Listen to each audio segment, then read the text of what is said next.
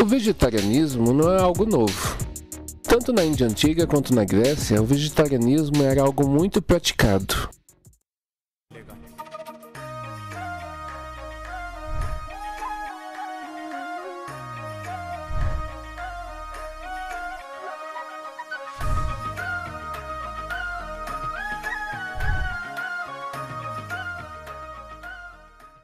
A Índia antiga era dividida por classes. Os Brahmanas, que eram os intelectuais, os Kshatriyas, que eram os guerreiros, os Vaishyas eram os comerciantes. E os Shudras eram trabalhadores braçais. A classe superior, chamada de Brahmana, evitava qualquer alimento que viesse da morte de animais. Pois quando o animal morre, ele produz uma energia muito negativa. Pois ninguém gosta de morrer, né? Então a ansiedade produzida pela morte forçada criava um alimento chamado tamásico, ou seja, um alimento que aflora o modo da ignorância de quem o consome, por ser fruto de uma grande violência. Os chátrias não viviam do consumo de carne, mas eventualmente comiam. Até porque se o alimento está vindo da violência, acaba estimulando a violência, e era algo necessário para um guerreiro. Além disso, eles lutavam com animais para poder treinar. Os Vaixas tentavam ao máximo proteger os animais. E como ele produzia alimentos necessários para as outras classes, não havia por que se alimentar de animais. Shudras eram trabalhadores que poderiam ajudar qualquer uma das classes, como eu comentei antes. Então seus hábitos alimentares dependiam de quem eles estavam servindo. Então veja bem, as quatro classes tinham dois que não se alimentavam de carne um que se alimentava eventualmente e um que dependia de quem ele estava servindo.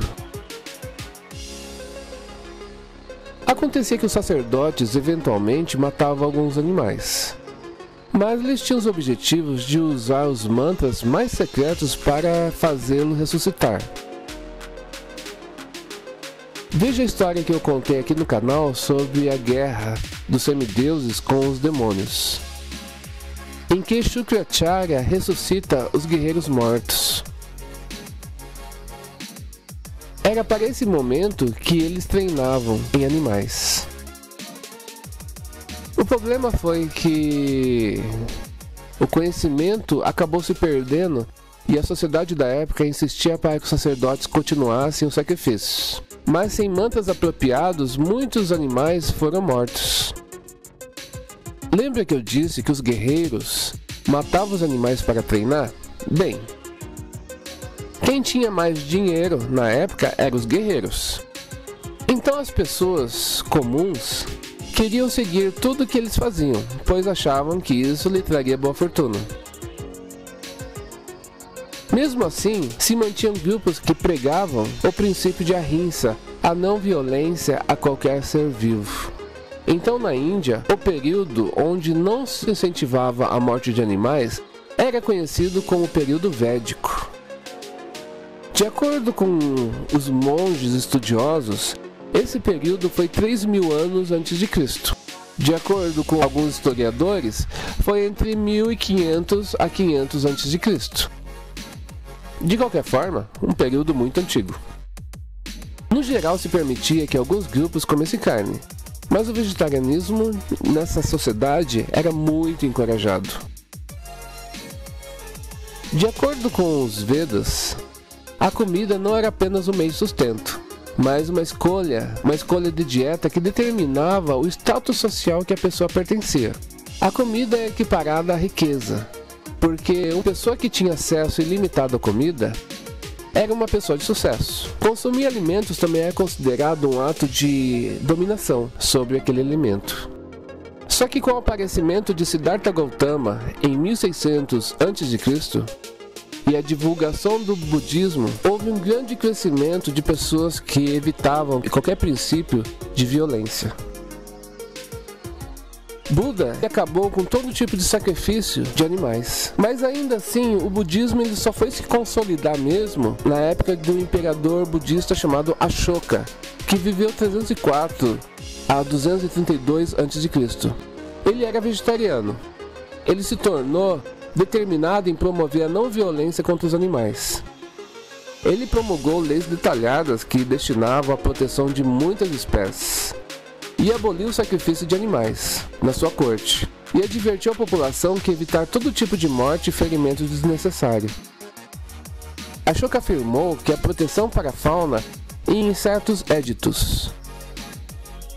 Ele falava o seguinte, nos seus éditos: O amado dos deuses, o rei Piedassi, causou a redação desse édito de Dama, aqui no meu domínio, Nenhum ser vivo deve ser abatido ou oferecido em sacrifício. Nem deve ser realizado festivais, pois o amado dos deuses, o rei Piadassi, vê muito se opor a tais festivais. Embora haja alguns festivais que o amado dos deuses, o rei Piadassi, aprova. Anteriormente, na cozinha do amado dos deuses, o rei Piadassi, centenas e milhares de animais eram mortos todos os dias para fazer curry. 26 anos depois de minha coroação, vários animais foram declarados protegidos.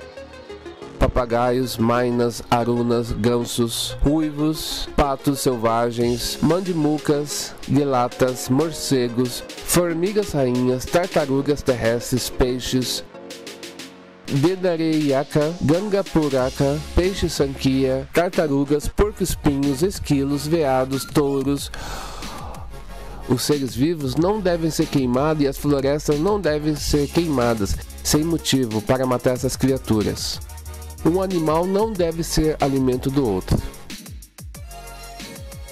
Então esses foram os editais do rei Ashoka, que estão lá no quinto pilar.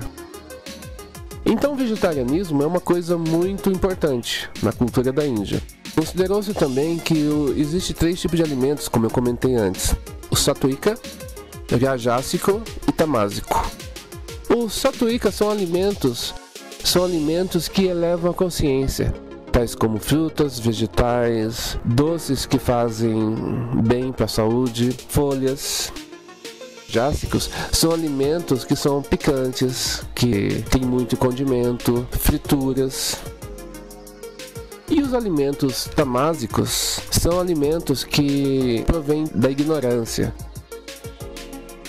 estimulam a ignorância na pessoa, tais como carne, alimentos que mesmo vegetais que surgem da decomposição e assim por diante. O conceito indiano de não violência teve um impacto crescente no mundo ocidental.